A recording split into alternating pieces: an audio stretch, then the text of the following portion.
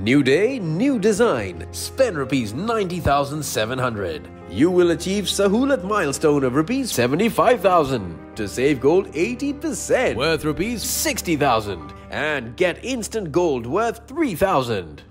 Buy now.